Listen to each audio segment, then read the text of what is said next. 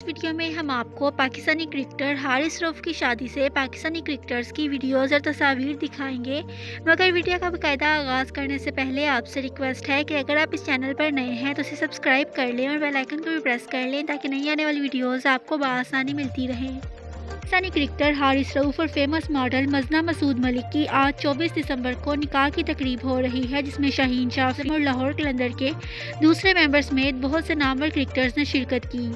इसके अलावा शाहीन शाह अफरीदी ने हारिस रऊफ़ और उनकी वाइफ के लिए वीडियो मैसेज शेयर किया और उन्हें मुबारकबाद दी।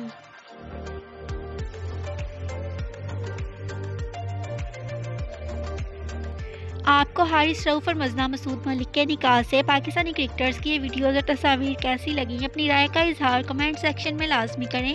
और अगर आपको ये वीडियो अच्छी लगी हो तो इसे लाइक और चैनल को सब्सक्राइब करना मत भूलिएगा। साथ ही साथ बेल आइकन को भी प्रेस कर लें ताकि नई आने वाली वीडियोज़ आपको बसानी मिलती रहें।